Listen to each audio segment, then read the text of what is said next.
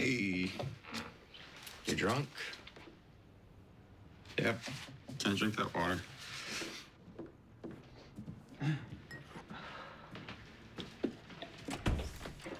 Did something happen with Thomas?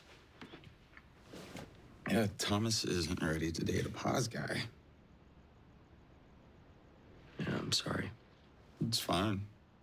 It's not.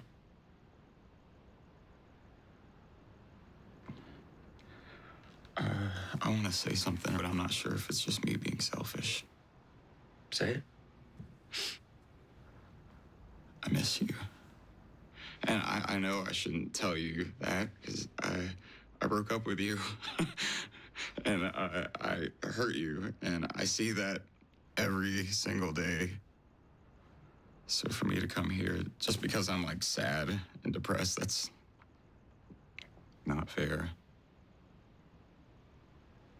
You can always come to me. You know that. Isn't that just selfish though? No. Because I miss you too.